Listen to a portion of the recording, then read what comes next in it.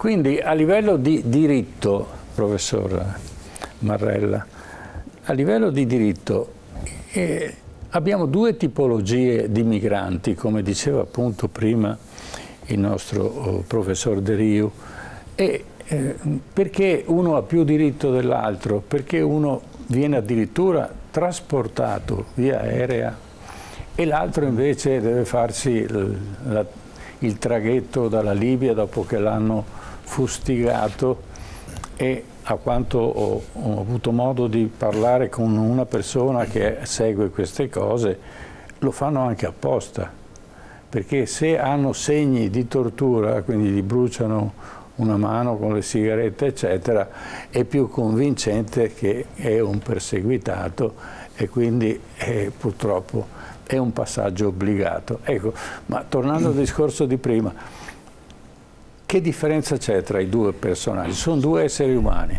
Sono due esseri umani, infatti sotto il profilo diciamo, della tutela dei diritti umani sono uguali, ma una volta che hanno ingresso del territorio in modo legale, il territorio italiano ovviamente, eh, però sta di fatto che il diritto internazionale, il migrante economico non ha un diritto a, ad entrare in un altro paese, ha un diritto a uscire dal proprio, ma paradossalmente non ha il diritto di entrare in un altro paese, altrimenti non ci sarebbero più i visti, le quote, no, le, la, la, diciamo, tutto il macchinario che serve per l'immigrazione controllata, perché l'immigrazione va controllata, altrimenti crea eh, destabilizzazione, crea caos.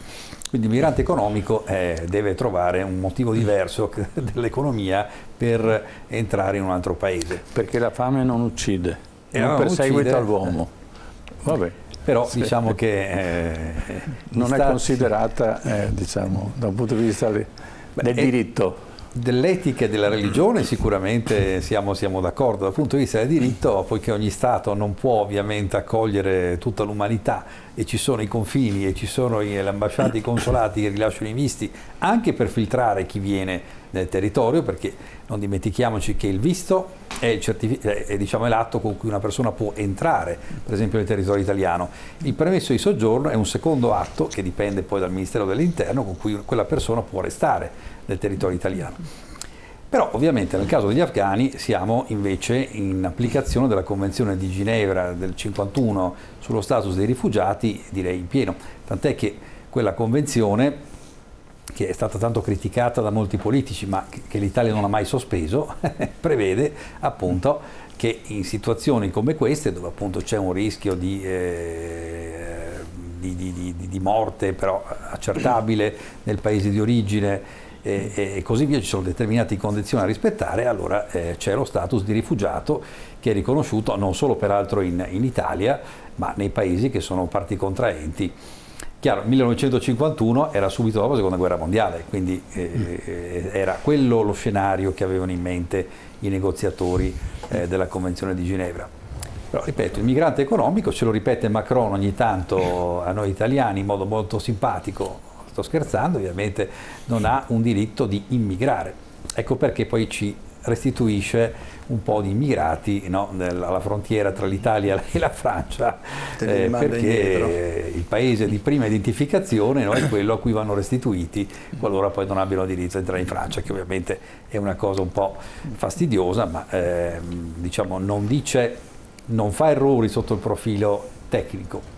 Il problema è che in una situazione come questa dato che, si potrebbe dire, l'operazione iniziata tramite la Nato, a trazione americana, dove l'80% delle forze militari era americana, forse bisognerebbe immaginare che una ripartizione dei profughi, profughi fosse eh, nello stesso senso, l'equità vorrebbe, ma non mi sembra che si stia discu discutendo di questo, anzi ognuno fa per sé e l'Unione Europea si trova evidentemente con le mani legate perché non ha partecipato tecnicamente all'operazione in Afghanistan, però siamo stati membri dell'Unione Europea oltre che della Nato e anche qui un coordinamento a livello di Unione Europea eh, sembra necessario, però eh, come vedete siamo ancora molto, molto lontani da questo.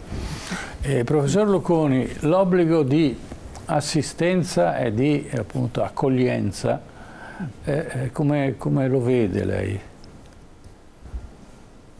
Il problema è che eh, l'atteggiamento nei confronti dei profughi da parte di qualsiasi paese è molto legato alla difesa di un eh, sistema eh, sociale, economico, un modo di vita, per cui eh, si accettano coloro che eh, fuggono per eh, ragioni politiche, perché eh, in questa maniera si allontanano da un modello che il paese che li riceve contesta, contrasta ma non si accettano coloro che eh, fuggono per ragioni economiche perché vogliono semplicemente trovare eh, un, gli strumenti, i mezzi di, di, sostentamento. Questo è un problema che ha coinvolto, oh, vorrei dire quasi da sempre,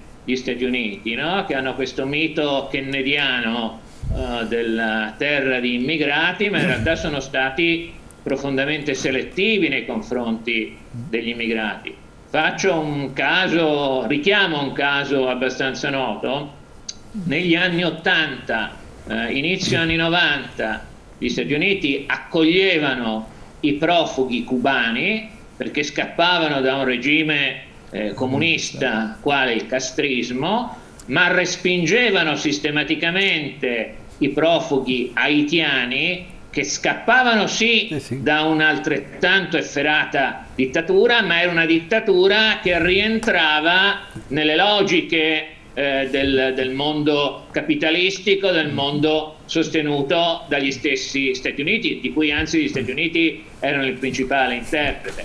Bisogna, eh, partire, bisognerebbe partire dal presupposto che il diritto alla vita è il principale diritto da tutelare e quindi superare questa distinzione estremamente capziosa tra migranti economici e migranti politici, perché intendiamoci, il problema anche per i migranti politici è poi quello del sostentamento. Certo. Si fugge adesso dall'Afghanistan perché si è perseguitati in maniera anche efferata, se si vedono le poche immagini che arrivano in, eh, in Occidente, penso per esempio ai giornalisti che sono stati frustati perché hanno coperto, eh, fotografato, dato risalto a una manifestazione di donne, ma molto spesso i regimi colpiscono gli oppositori in maniera indiretta, impedendo loro di trovare un lavoro, impedendo loro di trovare i mezzi di sostentamento. Quindi questa distinzione che viene purtroppo pacificamente eh, accettata tra eh, esuli politici e migranti economici è una distinzione capziosa che necessariamente dovremmo superare. Certo. Auguri. Guardi, professore, mi scusi se intervengo, prego, prego, ma sono completamente in disaccordo con lei. Perché quando si parla di migranti economici, si può parlare di migranti che fuggono dalla carestia. Eh, giustamente il, il professor Kazen prima ha equiparato le persone che muoiono di fame ai, ai, ai, agli esuli politici e sono perfettamente d'accordo. E questi, guardi un po', a Ginevra sono stati riconosciuti perché come lei ben sa, per quel che riguarda la, la, la, la protezione umanitaria, umanitaria che ha diritto a due anni rinnovabili eccetera eccetera si tratta è molto personalizzata e riguarda persone che fuggono dalla guerra che non sono gli afghani che hanno diritto alla protezione sussidiaria ai 5 anni, più quelli che fuggono dalla carestia. Ma qui parliamo di migranti economici e il 90% dei migranti che arrivano per la rotta mediterranea, come lei ben sa, eh, in Italia, sono migranti che fuggono non dalla carestia, ma per migliorare la qualità della loro vita, che è una cosa legittima ma non è emergenziale, quindi sono completamente d'accordo con lei nel distinguere, visto che non abbiamo la possibilità di accogliere, almeno in Italia, una massa di migranti economici che fuggono per migliorare la loro qualità della vita, dare la precedenza a chi è riconosciuto da Ginevra e cioè sono quelli che hanno diritto all'accoglienza sussidiaria, gli afghani. Professor Dimenticandoci della storia non abbiamo i fondi. I, mi scusi finisco guardi telegraficamente. Il danno grosso dei, dei migranti economici che fuggono per migliorare la qualità della loro vita e non per fuggono dalla carestia lo provocano soprattutto a coloro i quali sono riconosciuti da Ginevra, perché il 90% dei fondi italiani sono utilizzati per, per, dei migranti che non sono dei profughi veri, anche se questo è un, un, un linguaggio tecnicamente scorretto. E per profughi veri sono io ritengo che debbano essere riconosciuti sotto il profilo anche legale, da, da, da, sono ben definiti da, Ginevra, insomma, come lei ben sa. Dimenticandoci della storia di un paese come l'Italia che dall'unità ha mandato nel mondo oltre 30 milioni di persone e che per certi aspetti continua a mandare. Questo non c'entra niente. No, eh, scusate, c'è un piccolo dettaglio che forse sfugge, perché i migranti, quelli che vengono da noi perché hanno fame, perché non trovano le risorse nei loro paesi, parlo per esempio di Kenya, Sudafrica, Nigeria, perché arrivano in Italia e hanno fame quando sono ricchi di materie prime? Che gliele rubiamo. Allora, siamo sempre noi, non è una guerra con le bombe, i missili o i droni, è una guerra perché questi non sono in grado di organizzarsi in maniera feroce come fanno i talebani e quindi sono costretti ad andarsene perché il loro diritto alla vita esiste, ma se loro si ribellano, se in Nigeria si ribellano, noi la benzina la paghiamo il doppio. Non abbiamo più i telefoni, andiamo in giro senza avere Prego, le batterie dei telefoni, sappiamo da dove vengono. Sì, e, quindi... e, proprio sul discorso della democrazia, appunto, abbiamo detto che la democrazia non si esporta con le armi, ma soprattutto eh, capiamo sempre più come perché qualcuno abbia la democrazia deve privarla a qualcun altro.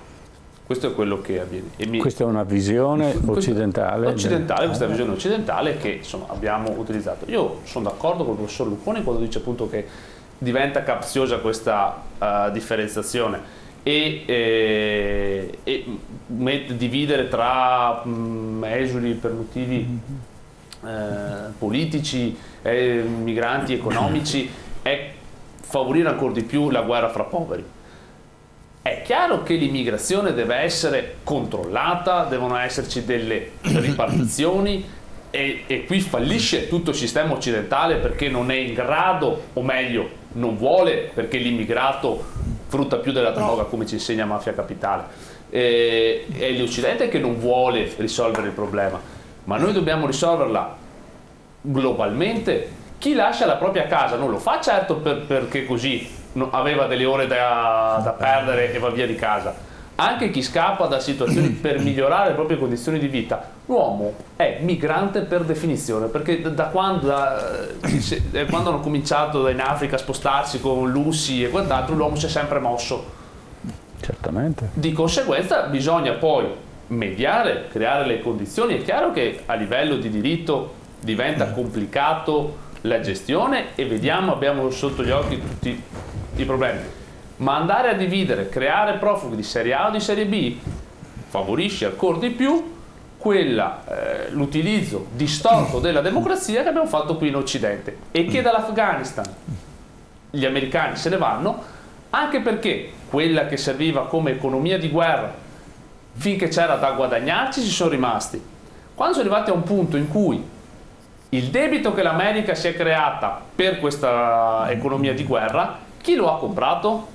La Cina e come abbiamo detto prima la Cina sta aspettando per passare all'incasso. Eh, ecco, eh, mia... Giustamente, giustamente eh. mi hai anticipato, c'è il fattore Cina come punto finale da osservare. La Cina fino adesso non ha dimostrato quella aggressività che abbiamo sempre dimostrato noi, anche nei confronti della Cina nei secoli passati abbiamo fatto la guerra per imporre l'oppio che veniva fatto in Afghanistan e in, in Turkmenistan. Allora, a questo punto è necessaria la pace per riuscire a cambiare politica estera? Io ho sentito molte cose, sono d'accordo su alcune, in disaccordo con altre, non, non fa nessuna differenza. Però no, nel, dica... momento noi, nel, momento in cui noi, ragioniamo su, perché, su chi abbia vinto e chi abbia perso in Afghanistan, noi dobbiamo anche tenere presente di una cosa fondamentale. Rispetto al 2001, l'anno degli attentati, al 2011 l'uccisione di Osama Bin Laden, che caratterizza l'economia statunitense. Nel 2018 gli Stati Uniti sono energicamente sono indipendenti, per cui mentre fino ad allora, fino al 2018, erano sempre alla ricerca, anche venendo a, a compromessi imbarazzanti con potenze nemiche per approvvigionarsi di petrolio, noi sappiamo benissimo quanto l'economia statunitense sia energivora, eh, anche quella bellica tra l'altro, eh, il raggiungimento che eh, permette l'indipendenza appunto degli Stati Uniti, io l'ho scrissi nel 2012 mi ricordo, io dicevo guardate che gli Stati Uniti finiranno di essere il poliziotto di tutti, perché noi ovunque ci sia un problema noi mandiamo, abbiamo mandato agli Stati Uniti o con la Nato o direttamente, a parte la Francia in Libia, per cui è evidente che gli Stati Uniti hanno acquisito dal 2018 in poi una posizione sempre più isolazionista. Non dimentichiamoci che durante l'amministrazione Trump eh, l'accordo che fece con l'Arabia Saudita, primo, uno, dei primi, uno, dei primi, stati per quanto riguarda le riserve petrolifere, aveva permesso al, a questi due soggetti politici in conflitto per complicità di escludere, di cancellare l'importanza politica dell'OPEC. L'OPEC durante l'amministrazione Trump era diventata una, una, una associazione di produttori di petrolio che, relativamente, mm. sul quale era, la figura principale era l'Iran, forte antagonista dell'Arabia Saudita, era diventata ininfluente, che aumentassero o diminuissero la produzione, il petrolio mediamente era sempre a 60 dollari, che era il margine giusto per i produttori di petrolio statunitensi con, il, con lo shale oil, permetteva alla Russia, altro forte produttore di petrolio, di avere anche loro dei margini e aveva politicamente messo in un angolo la, tutti gli altri produttori di petrolio. Quindi in questo contesto il ritirarsi voluto da Trump che firmò quel contratto a Doha, qual è stato il problema? Che purtroppo tanto politica, che politicamente i due presidenti, Trump prima e Biden dopo, non sono stati supportati da un entourage politico, da un entourage militare che fosse stato in grado di prevedere il disfacimento del, dell'esercito talebano. Loro avevano previsto mesi perché i talebani entrassero a Kabul. Questo è stato il fallimento, l'ennesimo fallimento colossale delle, de, della struttura gerarchica militare della CIA e di tutti quanti l'intelligence americani che non hanno stato, pensavano che tutto si, si sarebbe svolto in qualche mese.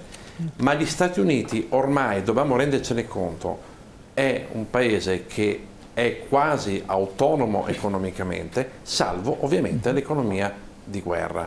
Non dimentichiamoci che l'82% del PIL americano è fatto da consumi interni, a debito molto spesso, per cui la Cina riesce a giocare un ruolo. Ma noi non possiamo pensare, il mondo è cambiato dal momento in cui il petrolio sta perdendo quella che era una, il suo valore geopolitico. E per gli Stati Uniti è cambiato, mentre per noi lo è ancora, per gli Stati Uniti ha acquisito molto ma molto meno importanza per quanto posso dissentire, io sono sempre stato d'accordo fino adesso col professore per quanto riguarda le sue analisi sugli Stati Uniti.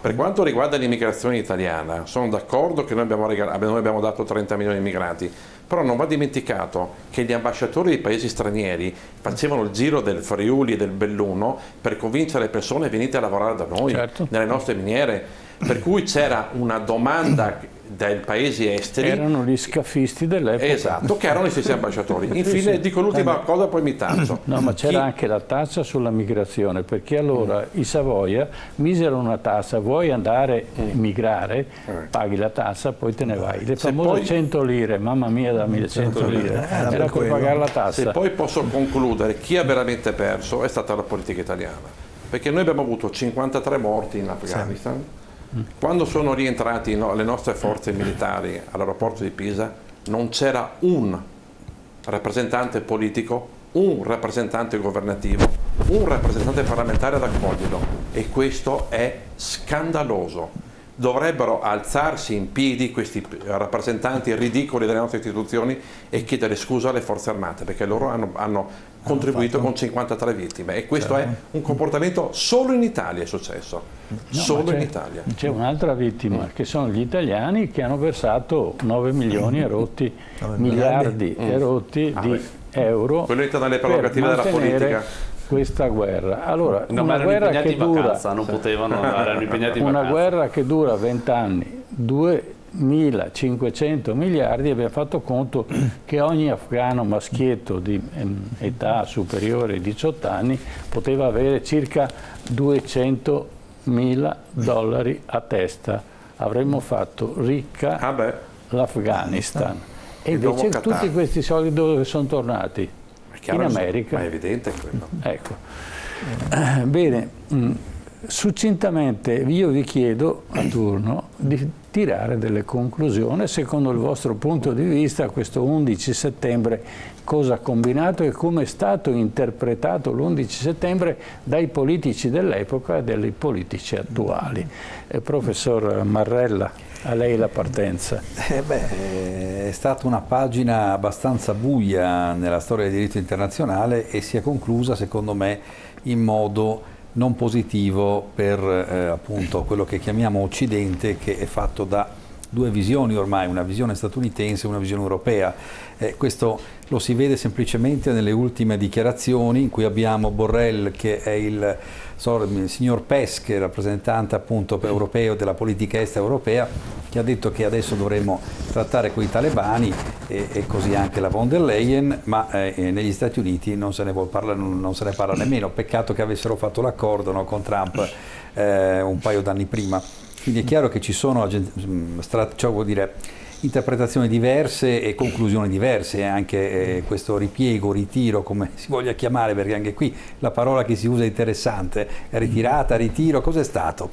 Ehm, è stato fatto in maniera brusca dagli statunitensi che invece a quanto pare non è che hanno avvertito tutti i militari della Nato dei piani esatti di eh, appunto ritiro o ritirata. C'è un accordo segreto segreto tra talebani risulta... e Stati Uniti. Ah, sì, sì, sì, però eh, visto che la Nato era servita agli americani per andare in Afghanistan, eh, l'uscita dall'Afghanistan diciamo, non si sono degnati, e questo lo so eh, per fonti dirette, non si sono degnati di eh, diciamo, dare quelle informazioni necessarie in modo che questo ritiro fosse coordinato da, tra tutti i militari che erano lì, mettendo a rischio la vita degli altri militari, eh, perché non è che uno può mancare improvvisamente l'80% delle forze sul campo, quindi certo. anche i nostri militari hanno fatto miracoli per riportare a casa tutti quanti vivi e in modo non troppo violento.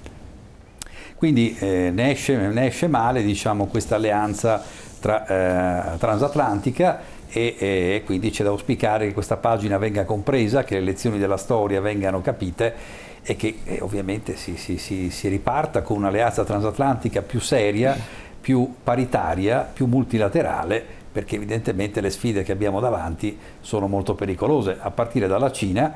E, e permettetemi solo di segnalare che dopodomani presenteremo un libro a Cafoscari sul potere e finanza sulla via della seta. E, e un dato che è molto uh, preoccupante è quello uh, per cui la moneta cinese è entrata nel paniere del Fondo Monetario Internazionale, quindi la valuta eh, voglio dire, mettendo a rischio adesso l'egemonia del dollaro sul piano monetario internazionale. Eh, questa sarà un'altra puntata, immagino, però sì, sì, eh, sì, assolutamente molto interessante. È veramente un salto storico di, di di, di, portata enorme. Eh, certo. certo. Eh, professor Fusaro? Sì, io trago le conclusioni partendo da due immagini. L'11 settembre 2001, eh, durante l'attentato abbiamo visto persone lanciarsi dalle finestre gente che cadeva dall'alto, cadeva giù, mossa da disperazione. E ad agosto del 2021, quando gli aerei partivano, abbiamo visto di nuovo gente disperata che cercava la fuga e che è caduta giù dall'aereo. Quindi direi vent'anni di disperazione. Vent'anni di disperazione che ci hanno insegnato come non esiste, per l'ennesima volta, non esiste una guerra giusta, che la democrazia non si può esportare e che noi come Occidente abbiamo fallito completamente. Se noi ci vantiamo come Occidente di rappresentare tutta una serie di diritti, abbiamo solo esportato ancora corruzione, interessi economici e strage di civili inermi. Importato droga però. È importato droga. Il 90% del commercio, il commercio di droga parte dal, Dall'Afghanistan. E potremmo, diciamo, soprattutto c'è una cosa eh, che ci dovrebbe far riflettere tutti quando viviamo nei nostri agi.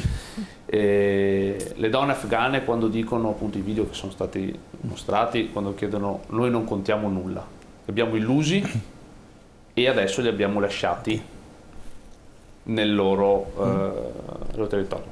Eh, mi fa molto male il discorso quando Biden ha detto noi non, non siamo partiti, non dovevamo portare la libertà, noi abbiamo solo risposto a un attacco, abbiamo sgominato il terrorismo e, e quindi non è nostro compito portare la democrazia ovunque, quando invece era stata presentata la guerra come andiamo a rispondere, eh, portiamo la libertà, siamo quelli bravi, quelli buoni e tutto quanto. Il terrorismo si sconfigge in maniera diversa. Si sconfigge facendo in modo che, non- che le materie prime appunto non ci sia un'eccessiva sfruttamento, perché ricordiamoci che uno può migrare per qualsiasi motivazione, però come, eh, qua riporto una vecchissima frase di, di Andreotti, diceva che se anche lui, dice, se anche io fossi vissuto in uno dei campi profughi del Libano, probabilmente sarei diventato un terrorista. Ecco, quindi quello che ci devono insegnare questi vent'anni è che dobbiamo evitare che il terrorismo possa proliferare perché la cupidigia, la voglia, lo strapotere occidentale sfrutta il resto del mondo. Fin quando il 20% della popolazione sfrutta l'80%, questi sono i risultati. E a pagare poi è quella disperazione di chi si butta dalle torri gemelle, di chi si butta dagli altri. Grazie. Pontelli? Duemila- il- L'11 settembre ha cambiato il mondo irrimediabilmente, non credo verso, verso una stagione più felice o migliore, ma l'ha cambiata radicalmente. Quello che, la lezione che non, non abbiamo capito, noi viviamo ancora nell'illusione, ed è questa è una, una colpa che va alla, alla politica degli ultimi 20-30 anni eh, della politica, degli economisti, del mondo accademico, che un mondo globale è possibile dove tutti possono stare insieme, tutti possono stare assieme senza regole, perché in fondo eh, la concorrenza è quella che è sana ogni, ogni problematica. Io dico solo, faccio un esempio perché io sono fortemente critico nei confronti dell'Unione Europea, de- di questa von der Leyen, per quanto riguarda per esempio la sua transazione ecologica. Ricordiamoci che la Cina ora sta investendo in centrali a carbone, per cui noi ragioniamo con i tipici RAS di quartierino, cioè noi siamo molto rigidi nei confronti di noi stessi, non faremo le macchine a combustione interna, tanto la Cina sta investendo, in- eh, che è già adesso il primo produttore, al- il primo inquinatore al mondo, sta tranquillamente investendo in, in energia a carbone. Questo cosa vuol dire? Che se noi non siamo in grado di tutelare le nostre realtà e quindi tutelare il nostro territorio, nei confronti de- de- della depredazione di altre realtà. Una volta c'erano i due blocchi, statunitense, diciamo occidentale e l'Unione Sovietica. Adesso si sta creando un blocco cinese, ovviamente il jolly verrà fatto da Putin che rimarrà in carica penso per i prossimi 60 anni o, o- o più, e gli Stati Uniti che sono sempre più isolati, isolazionisti, e l'Europa. E noi ragioniamo come se fossimo un quartiere di una città.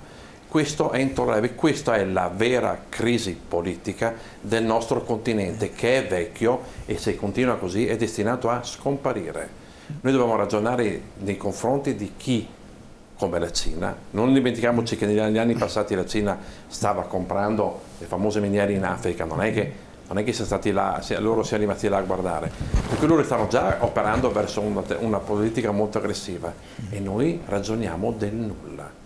Questo è la, secondo me, ovviamente poi il discorso dei migranti e, de- delle crisi umanitarie, questo penso saremo d'accordo tutti sul fatto che debbano essere accettati eh, che siano afghani o che siano di, di altre nazioni, importa- l'importante, sai qual è? Che se tu vieni da me, tu vieni rispettando le mie leggi. Punto. Perché non è più possibile adesso pensare che questi, come qualcuno disse in Italia, saranno i nuovi modelli di consumo. Tu vieni da me, io ti accetto, ti do una formazione, ma con le mie leggi. Certo. Perché le mie leggi sono frutto di anni di democrazia travagliata, di, poi c'è stata la dittatura, ma le nostre leggi sono la nostra storia. Tu devi rispettare la storia italiana, europea, tedesca e di seguito. Certo, certo. Per il concetto di reciprocità dovremmo rispettare anche le loro. Adesso, certo. eh, eh, professor De Rio, una sua conclusione. Ma, guardi, io più che una conclusione vorrei portare, riassumere molto brevemente l'appello che è stato fatto dalla lettera 150 eh, per quel che riguarda il problema umanitario. Cioè, io ho sentito delle, delle cose molto belle oggi, ma eh, che non tengono conto della realtà. Perché eh, faccio un esempio e poi lancio l'appello di, di Lettera 150. L'Italia, parliamo dell'Italia che poi è, è, un esempio che può essere generalizzato. L'Italia ha a disposizione dei fondi per gli, per la, per gli emigranti. Se questi fondi vengono utilizzati per il 90% per migranti che migrano per migliorare la qualità della loro vita, non perché fuggono dalla carestia o perché fuggono dalla minaccia di morte o dalla guerra, questi fondi non possono venire utilizzati per i profughi che ne hanno diritto per integrarli meglio. Cioè, in altre parole, se vengono utilizzati il 90% dei fondi come sono stati utilizzati negli ultimi anni per i migranti mediterranei, per il meccanico del Senegal che ha venduto l'officina perché vuole, comprarsi, vuole, un, vuole vivere una vita migliore, ne ha diritto, tutti i diritti, ma li porta via a migranti che fuggono dal, dalle torture e dalla, e dalla, minaccia per la loro vita e li, e li porta via, li scippa a quelli che fuggono per la carestia. Chiusa questa parentesi, spiego, penso di, eh, credo di essermi spiegato su una cosa molto concreta. Un'altra cosa concreta è invece l'appello del, del, del, umanitario di lettera 150 che eh, mette a fuoco la problematica dei migranti afghani. Faccio sempre l'esempio concreto di questi eh, 4.500 esuli che ci troviamo in Italia. Oltre che l'accoglienza di cui si farà carico sicuramente lo Stato italiano per quel che riguarda vitto, alloggio, eccetera, quello che è impellente è l'integrazione di questi migranti, cosa in cui l'Italia non ha dato un grande esempio per quel che riguarda i migranti della rotta mediterranea. L'integrazione significa oltre che eh, l'accoglienza, il vitto e l'alloggio, anche la possibilità di un inserimento che passa per un primo passo, che è l'apprendimento della lingua italiana. Quindi il primo appello è stato rivolto al, al, al governo e agli enti locali perché istituiscano immediatamente dei corsi di lingua italiana. Le, le, le, gli enti più indicati sono ovviamente i comuni di accoglienza per, il, per, il, per, questi, per questi 4.500 eh, profughi. La cosa, tra l'altro, permette di integrare immediatamente una parte di questi, perché come tutti sappiamo sono, eh, i capifamiglia dovrebbero essere, almeno teoricamente, eh, personale interpreti, personale eh, già a conoscenza della lingua italiana scritta e parlata, che potrebbero essere utilizzati almeno immediatamente come insegnanti per i loro concittadini, dando certo. già una prima integrazione. La seconda criticità che ha visto lettera 150 non riguarda gli studenti universitari che sono qui in Italia per fare degli stage perché, o dei master perché eh, sono già protetti molto dal Ministero dell'università che ha finanziato, che ha determinato dei finanziamenti notevoli, eh, importanti diciamo, per tutte le università che si prenderanno cura dei loro, dei loro eh, studenti. Riguarda la criticità, riguarda invece l'inserimento con appositi corsi degli studenti medi che arrivano in seno famiglia, alle famiglie e che necessitano di, dei corsi di integrazione urgenti per essere immessi nella scuola pubblica italiana. L'appello finale è stato fatto un duplice appello al Presidente Draghi perché adoperi la sua influenza sull'Unione Europea e sul G20, visto che ne è il Presidente, perché diciamo, apra una fase di negoziazione attraverso questi, questi, questi, questi importanti eh, realtà politiche in maniera tale da eh, stabilire la continuazione di un corridoio umanitario eh, diciamo sotto la tutela della Nato.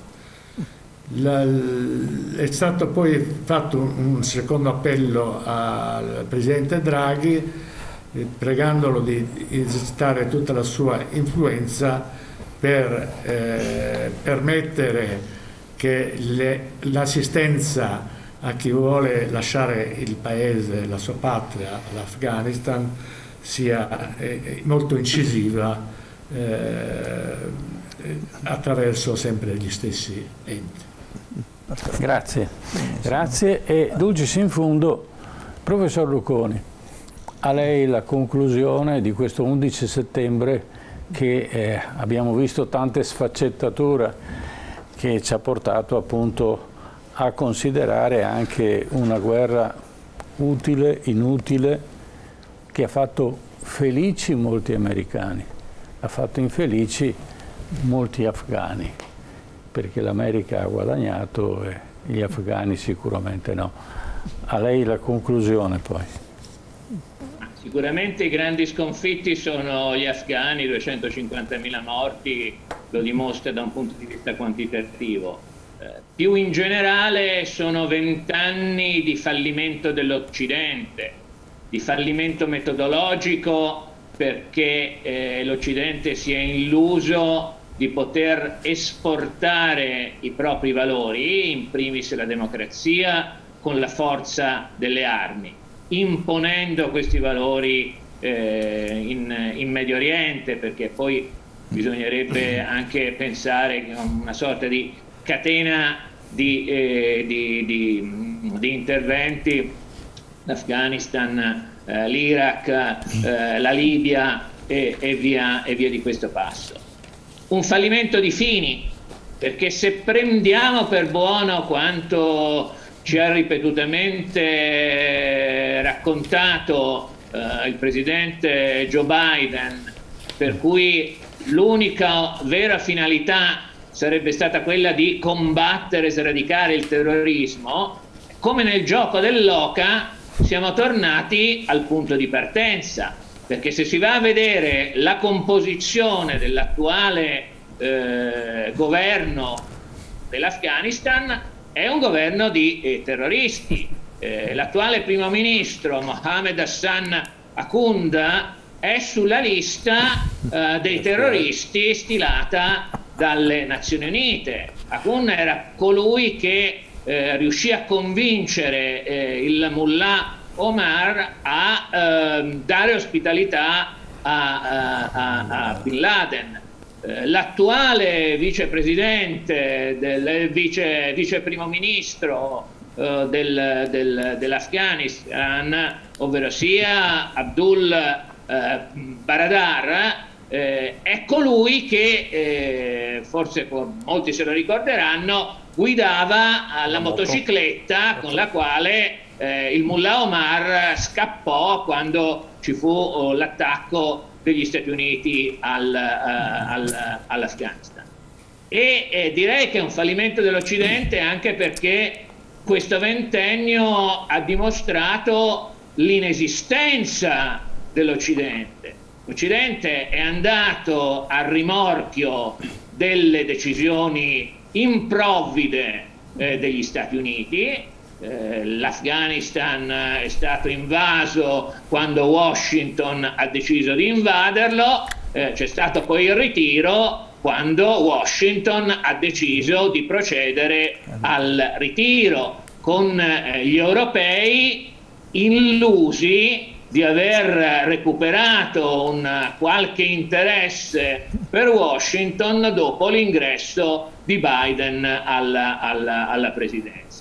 In realtà gli Stati Uniti eh, hanno sempre fatto il loro gioco, non hanno mai concertato in concreto le loro politiche e l'Occidente si sta mostrando profondamente diviso anche sulla questione dei, eh, dei rifugiati. Quindi se eh, il tutto nasceva per eh, difendere una serie di valori che l'Occidente intendeva e ancora oggi intende rappresentare, direi che è una sconfitta su tutta la linea, anche a fronte del fatto che eh, in questo ventennio si sono riorganizzati paesi eh, retti da regimi autoritari come la Russia e come la Repubblica Popolare Cinese.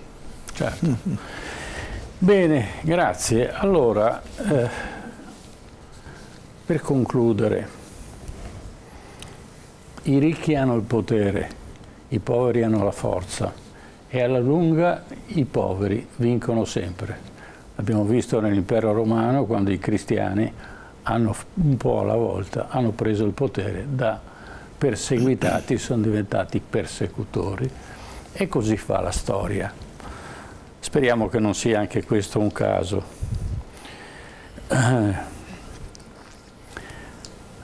C'è un altro fattore. Ci sono degli americani che sono felici di questa guerra. È vero che a livello di etica abbiamo perso, a livello di morale abbiamo perso, a livello di faccia l'abbiamo persa, ma gli industriali americani hanno stravinto. Non c'è niente da fare.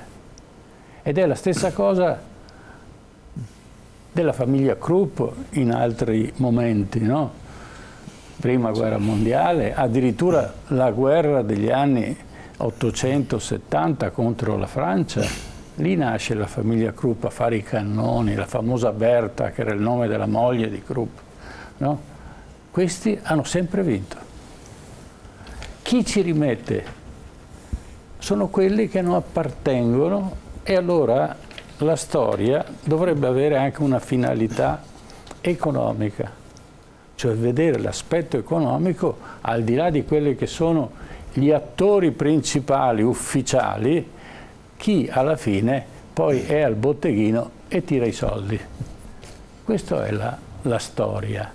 E se seguissimo di più l'economia probabilmente scopriremmo un sacco di cose e certe morali e certe etiche andrebbero cambiate o quantomeno l'informazione al pubblico dovrebbe essere anche legato a questo aspetto. La gente deve sapere quanto si guadagna sulla morte di 250.000 persone. Non hanno rimesso le fabbriche americane, hanno straguadagnato. Ora si trovano di fronte a un altro paese che ha una politica completamente diversa, che è una politica per la gente che non ha, per i poveri, diciamo, quelli che hanno la forza ma non hanno il potere, è più vantaggiosa. È la politica cinese, con tutti i danni che può fare, con tutti gli svantaggi che può dare a noi, chiaramente, perché se ci portano via un vantaggio noi ci offendiamo subito, poi i cinesi sappiamo che sono stupidi, quindi hanno inventato tutto. Se noi abbiamo fatto un passo avanti dalla polvere da sparo alla, alla, alla stampa, dalla porcellana alla seta e tutto il resto, lo dobbiamo ai cinesi. No? Poi naturalmente diciamo che siamo stati più bravi. E allora c'è da domandare questi cinesi che non hanno mai invaso nessun paese, salvo ultimamente, non sta nella loro etica la conquista, di col la colonizzazione di altri paesi. Ma lo stanno facendo, lo stanno facendo a livello economico. Lo stanno invadendo l'Africa, regalando valigie di soldi e prodotti a basso costo rispetto perché, perché hanno una politica che era quella politica che ha gestito per tempo Roosevelt. Stampo denaro, non importa quanto vale, ma funziona se lo dico io. E fu la rimonta, quello, il riarmo degli Stati Uniti all'inizio della seconda guerra mondiale. Allora c'è un altro fattore poi per i poveri. Eh? Non stiamo regalando qualcosa, stiamo restituendo qualcosa. Perché se questo scappa, vuol dire che qui c'è qualcuno che si appropria non dell'esatto valore delle, delle, delle risorse, ma di un valore molto basso e non consente agli eh, stati africani, ma lo stesso anche per gli stati asiatici, di ottenere quella di più che noi normalmente abbiamo e che, il cui costo è estremamente basso. Qui nasce però tutta una serie di considerazioni che si legano poi a quello che è la valuta, la moneta, è la capacità di gestire questa cosa strana che è la moneta, che anche questa sta cambiando rotta no? e abbiamo i bitcoin che ci raccontano che forse abbiamo un futuro che non riusciamo nemmeno a gestire. Io vi ringrazio della vostra partecipazione perché io spero che il vostro contributo sia servito ai nostri telespettatori a capire un pochettino di più di quella che è stata questa, questo caos di questa guerra dove c'è tutto il contrario di tutto, le più grandi contraddizioni e soprattutto la possibilità che quelli, i profughi, vengano aiutati a casa loro. Evitiamo di andare a rapinare, così i profughi non avranno nessuna necessità di venire da noi. Certo, l'arroganza occidentale in, tanti anni non ha mai conosciuto crisi sicuramente, abbiamo visto quello che è stato fatto dal periodo coloniale in, eh, in, poi, ad esempio in Africa e non solo, e non solo in Africa. Ecco, ehm, prima di salutare i nostri ospiti io volevo eh, aggiornare i nostri telespettatori invece su quelle che sono le condizioni di Patrick Zaki, il giovane studente, giovane studente egiziano che è in carcere, lo ricordiamo, dal 7 febbraio del 2020, ancora in attesa di giudizio. È stato interrogato uh, in questi giorni, è stato il secondo interrogatorio per Patrick Zacchi e oggetto di questo interrogatorio erano alcuni scritti dello studente eh, relativi al 2013 che secondo l'accusa, eh, quindi avrebbe scritto ancora prima dei post eh, pubblicati poi su Facebook eh, che costituirebbero poi la prova eh, per l'accusa di propaganda eh, sovversiva su internet. Mm, ricordiamo nel primo interrogatorio Zacchi ha dovuto rispondere anche a domande sulla sua attività in Italia, sul suo operato nell'ambito della difesa dei diritti umani. Zacchi resta in carcere, un carcere eh, decisamente duro in, in, Egitto e attende ancora un, eh, un giudizio e per lui eh, chiediamo eh, la libertà, che possa tornare libero in attesa ovviamente che sia eh, fatta giustizia. La stessa sorte tocca ancora anche ad Aung San Suu Kyi, eh, la, eh, la, leader eh, birmana che è ancora in carcere, anche lei arrestata eh, nel febbraio di quest'anno eh, dopo un colpo di Stato nel suo paese, lei si è battuta per tanti anni eh, per i diritti umani in, in Myanmar o, ex, o, Birmania che dir si voglia, ancora oggi è in carcere, lei sta subendo un processo e rischia molti anni ancora appunto di carcerazione, ricordiamo che ne ha già fatto fatti più di 15, in parte per carità ai domiciliari, ma comunque è stata in carcere per tanti anni proprio per la difesa dei diritti umani nel suo eh, paese anche per lei si chiede, eh, chiediamo giustizia. Bene, Grazie, grazie allora agli, agli, ospiti che sono stati con noi in studio, il professor Fabrizio Marrella, grazie il professor Damiano Fusaro e eh, Francesco Pontelli Buonasera, grazie. e grazie in collegamento al professor Stefano Lucconi e al professor Giovanni De Riu. Grazie, Buonasera, grazie a voi, per, essere, a voi. per, averci aiutato a, eh, dire, a, raccontare quello che è successo in questi, in questi vent'anni. Noi ci fermiamo qui, l'appuntamento è per la prossima settimana, noi torniamo alle 21, avremo come ricorrenza diciamo, la parte storica, affronteremo questa volta una, una ricorrenza italiana, Ermanno, perché parleremo di Licio Gelli. Parliamo di un famoso personaggio che è Licio Gelli, eh, è il mistero dell'Italia, l'Italia sommersa, cercheremo di farlo emergere, sarà sempre una cosa molto difficile, ma insomma un percorso quantomeno capire che cosa ha fatto e come ha influito sulla politica italiana è abbastanza importante. È, è più importante di quello che si pensi. E poi la vicinanza con un altro personaggio molto importante che è il senatore a vita Andreotti, che eh, in tempi non sospetti eh, si conoscevano e, e si frequentavano.